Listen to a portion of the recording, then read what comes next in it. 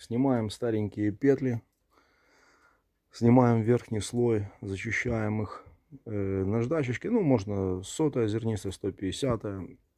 Тут не суть важно. Верхний слой, чтобы красочка потом лучше на них легла. Для того, чтобы обезжирить, проходим их растворителем, ну и дабы снять следы того, что мы наждачечкой сняли. Не забываем заклеить части, те, которые мы не будем красить, те части петель. Ну и берем краску, которая нам подходит по тону, потому что не всегда найдешь в магазине тот цвет, который нужен именно петель. Погнали! Вот петельки уже стоят, покрашены.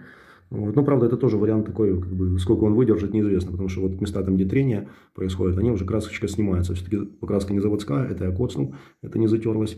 Вот. Но как вариант э, копеечный, в принципе, он имеет смысл вполне.